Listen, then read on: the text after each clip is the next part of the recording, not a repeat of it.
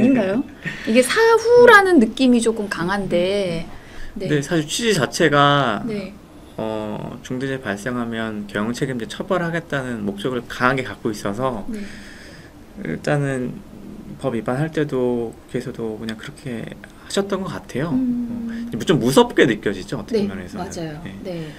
음, 그만큼 확고한 의지를 가져 가진 거긴 해요. 뭐그 제가 강의 중에도 얘기했지만 사실 좀 안타까운 사고들이 많았잖아요. 뭐, 뭐 세월호 사건도 그렇고 하여튼 그런 부분들을 통해서 좀 안타까운 사고가 있다 보니까 그런 것들을 막자라는 측면이고요. 책임자가 없으니까. 네. 그 사실 저도 말씀드리는 게 결국에는 저의 저를 만약에 제가 변호사니까 네. 저를 고용한 회사의 대표나 뭐 이런 네. 분들이 책임을 안 지도록 그러니까 네. 형사처벌 안, 안 받도록 하는 게 목표긴 한데 근데 기본적으로 제가 안전망 확보함 10가지 계속 말씀드리는 그 부분들을 네.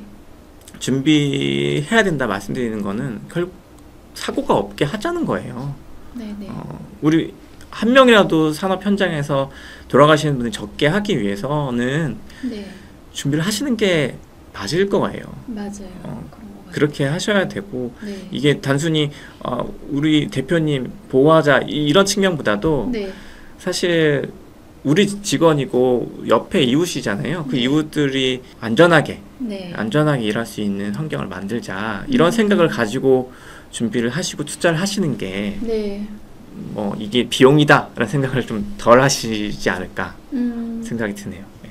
뭐 정말 안전 조치가 미흡해서 뭐 추락하거나 뭐 이렇게 뭔가 떨어져서 뭐 맞아서 죽거나 이 진짜 조금만 대비하면은 좋을 수 있는 사건들인데 어 그런 문제들은 정말 작지만 조금만 투자하면 되는 것들 이런 거를 또 알려주시는 거니까 저희 강의는 사고 안 나게 안 나면 좋은 거고 사고 났을 때 긴급하지만 좀 빠르게 그리고 정확하게 좀 회사 기업 입장에서 리스크 없이 좀 갈 수 있는 방법을 좀 알려주시는 거라 네, 담당자들한테는 진짜 도움이 될 수밖에 없을 것 같고요.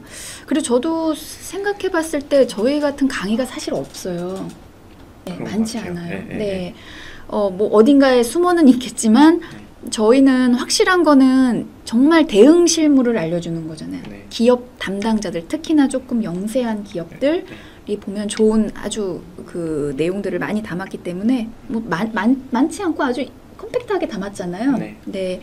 그래서 이 부분 정말 좀 많은 도움이 됐으면 좋겠고 어